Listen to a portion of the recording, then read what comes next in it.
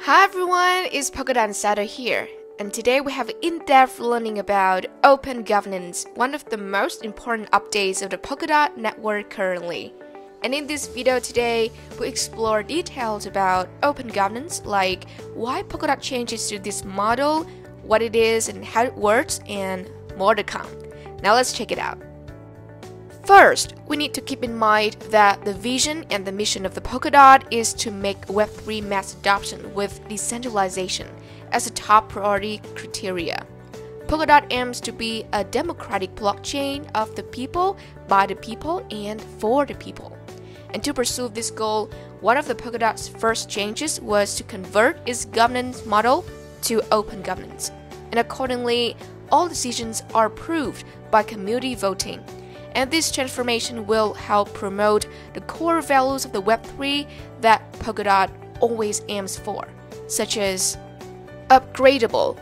With Polkadot, decisions can be automatically enacted, which makes upgrades to Polkadot, its parachains, and even the governance model itself adaptable to changing conditions indefinitely, a unique proposition for Web3. Independent on Polkadot, decisions are made by the community, not by the centralized bodies or first class citizens. While tokens can be freely acquired, the initial allocation was designed so no single investor controls a large portion. And unstoppable. By giving decision making power to a decentralized community, Polkadot delivers another first in Web3. It cannot be stopped, even by its creators. Alright, we just talked about the mission and vision of Polkadot as well as the core values of the OpenGov model. So, what actually is open governance? Let's find out right now. This new model represents the evolutionary leap of the Polkadot governance system, envisioning a decentralized, open, efficient, and forward looking blockchain. It introduces a realm where all token holders actively participate in shaping Polkadot trajectory.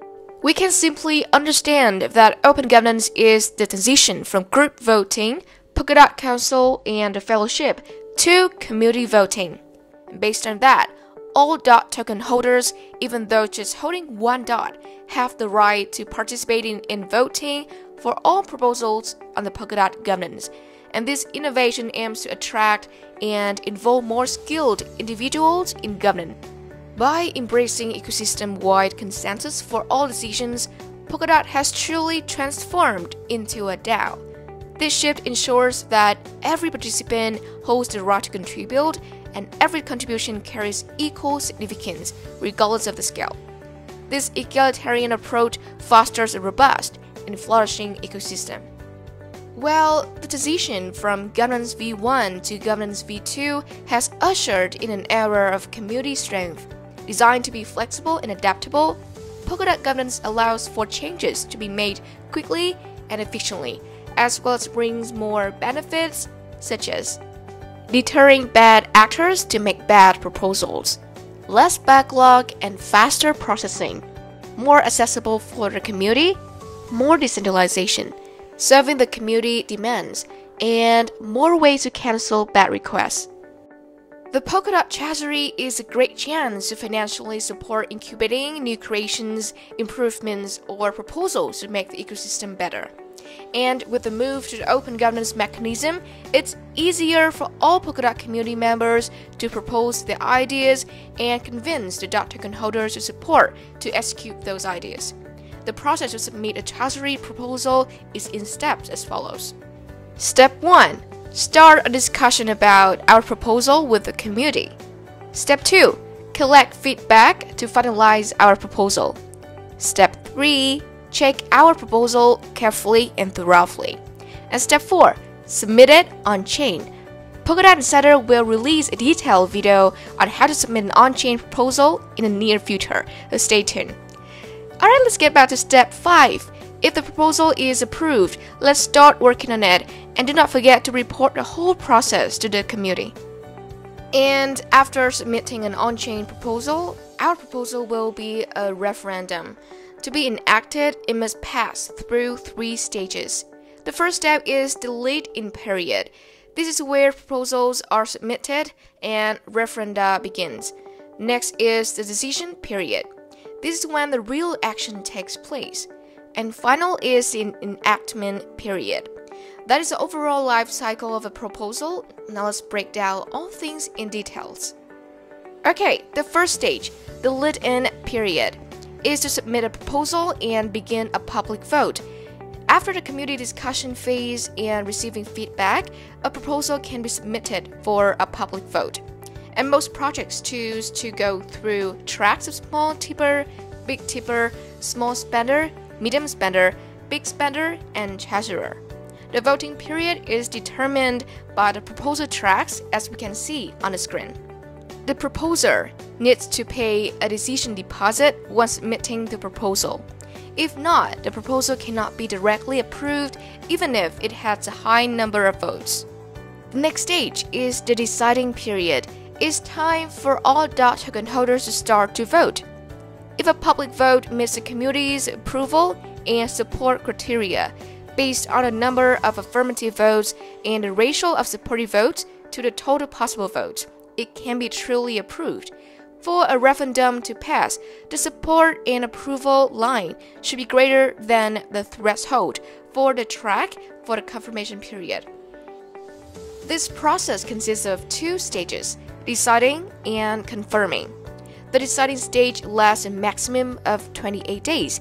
If at any point within those 28 days both the approval and support reach the approval threshold, the vote proceeds to the next stage, the confirmation period. The confirmation period is determined by the track parameters as we can see on the screen. And during this time, if the ratios of approval and support for the vote remain above the approval threshold, the referendum can be formally approved. Whether a public vote can be approved can be observed by monitoring the threshold curve during the deciding period. Alright, let's move on to the final stage, which is the enactment period. The duration of this stage is set by the proposer, and this stage cannot be shorter than a specified date in the referendum's track, but can be extended. We can refer to the information on the screen for the min enactment period of each track. Fundamentally, OpenGov operates on the basis of a positivist legal order allowing for peaceful and legitimate resolution of disputes in a diverse society without relying on external sources, such as morality or politics, to prove its legitimacy. The launch of open governance is opening a new revolution in blockchain governance, which is emphasized by the following features. First and foremost, decentralization. There are no first class citizens in the new governance system in Polkadot's open governance, any DOT token holders can participate in governing the network, including decisions on changes of varying scales and fiscal expenditures. Next up, fast and efficient. There's no need to wait in line now because Polkadot introduces multiple governance tracks that allow the community to vote on thousands of proposals at any time. Open and transparent.